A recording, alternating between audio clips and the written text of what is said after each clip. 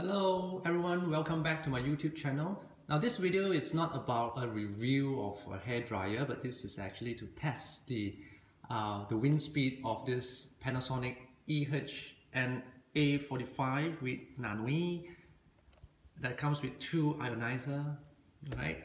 The power rating is 240 watt at 1600 watt, okay? It comes with two switches. This one is the temperature, lowest, medium, high, wind speed 0, 1, 2. So due to the uh, limited temperatures range for my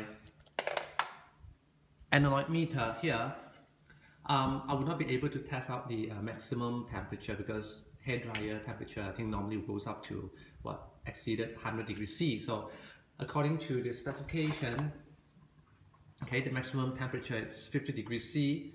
So probably I would try low temperature and medium temperature, okay? And uh, it's capable to tell me of the wind speed at various unit, right? Um, I think we'll use mile per hour or I think we'll tell you all the unit, okay? And then the temperature now it's 31.4 and let's compare it with my Google. Hey Google, what's the temperature now? In Seri Kembangan it's currently 32. Due to the current humidity, it feels like it's 38. So current temperature is 32 degrees C and it feels like what 37 so I think it's quite accurate. So to start off with okay I'll place it here and then I'll try to maintain my distance from the sensor to my hair dryer to roughly 8 inch. It's about 8 inch okay?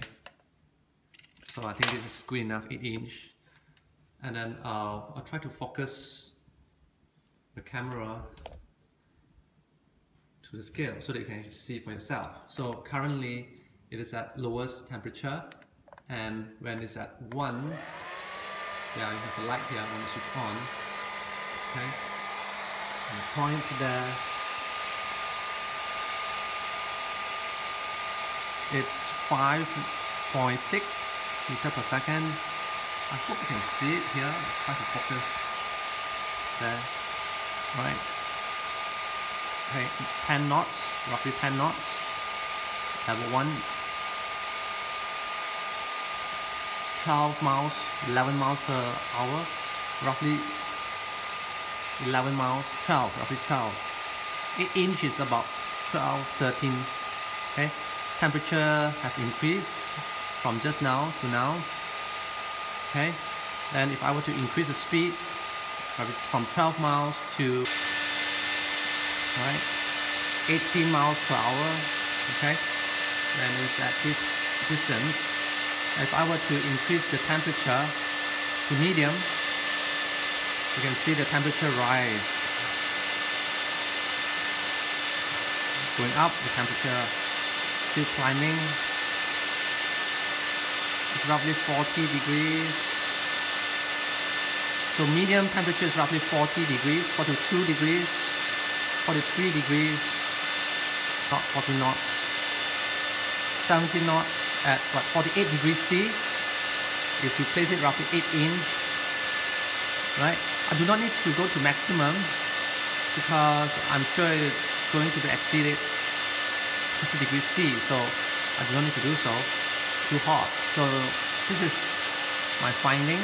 I agree closer. The closer, the temperature becomes too high. Okay?